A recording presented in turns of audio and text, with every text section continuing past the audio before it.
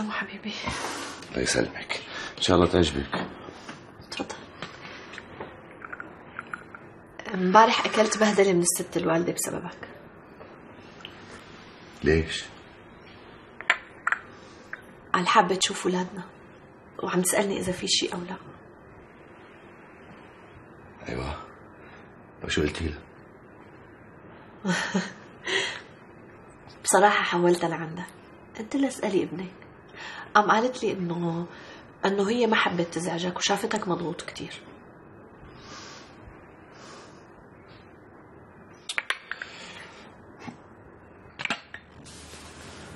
يا ليلى يا حبيبتي أنا مقدر مشاعرك.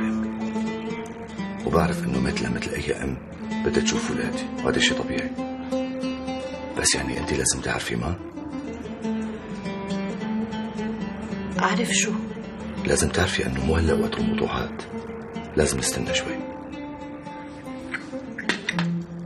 وإمتى وقته حبيبي؟ لتكون ناطر لتخلص الأزمة. مجد إذا بدنا ننطر لتخلص الأزمة يمكن بحياتنا ما نجيب أولاد. يمكن بحياتك ما تصير أب. وأنا بحياتي ما أصير أم. بالعكس رح تصيري أم ورح تصيري أحلى أم بالدنيا كلها. بتعرفي بابا شو كان يقول لي؟ كان يقول لي يا بابا الواحد كل ما كتر ولاده بصير يخاف على حياته أكتر.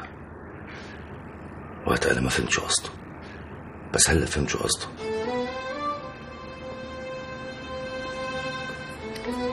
أيوة. لتكون مانك خايف على حياتك. أنا ماني خايف على حياتي. أنا بخاف على حياتي على قد ما بخاف عليكم. والله العظيم. بس أنا ما بدي زيد الحمل. بهذا الوقت تحديدا ما بدي زيد الحمل لهيك خلينا نستنى بس شوي. حبيبي نستنى شو؟ أنت ليش دائما عم تغير الموضوع؟ ليش ما عم تفهمني؟ ليش ما عم تحس فيني؟ أنا ما عم حس فيك. ليلى حبيبتي؟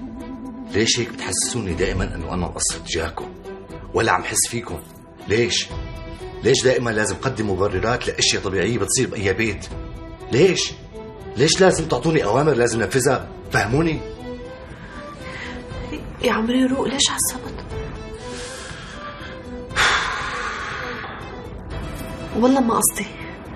خلص روق روق. أنا رايق ما عصبت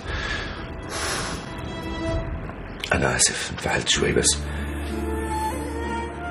ليلى بس نستنى هاي الفترة. بس هاي الفترة قصيرة. وبوعدك عن جد يكون عندنا ولد.